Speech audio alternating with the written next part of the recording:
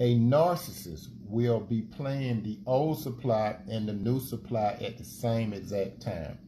A narcissist is a person that will be living a double life.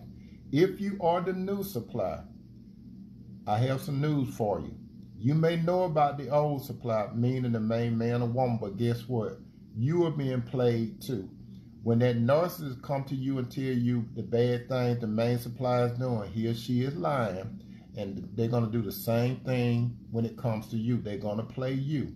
And more than likely, they're going to monkey branch back to the old supply or they're going to be having new supplies and you will not know about them. They're never content. that you will never be enough for them. That's what a narcissist does. They're full of deceit and they will discharge you because the only thing what a narcissist need from you is sex, service, supply, and safety. All the narcissists needed two of those four to keep you around. So you need to understand you will never be enough for a narcissist. As it is written in God's word, be not deceived. God is not mocked.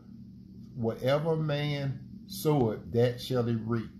Remember this. Believe this. Say la vie. And